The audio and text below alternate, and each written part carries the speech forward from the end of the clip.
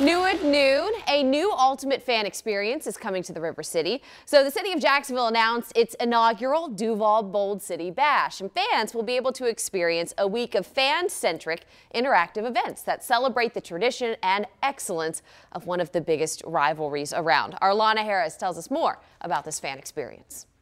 Hey, okay, so full disclosure, I was definitely going to start this thing off by calling the dogs, but our photographer, who is a huge Florida fan, said that he will absolutely cut the camera off immediately if I even think about it. So I'm just going to get to what's happening. For the first time ever on Florida Georgia weekend, Jacksonville is throwing the Bold City Bash. It is a multi-day fan experience. It's going to take over this entire area here on Adams Street, but not just here. The baseball grounds is going to be where to be on Friday night. So let's just run through it.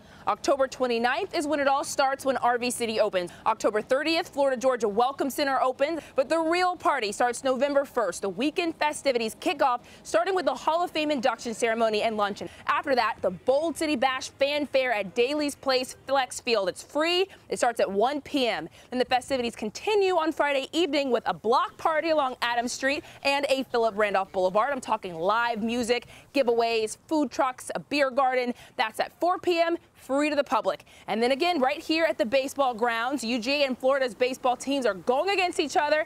And directly after that, country music artist Brett Young and two other artists will be performing right here at the stadium, followed by a fireworks show. And that all leads up to game day where there will be festivities in Daily's Place right before the game. With new plans for the Jacksonville Landing, we want to make sure that we enhance the experience we all put our heads together and said, let's make sure we have a place where everybody can get together and have a good time.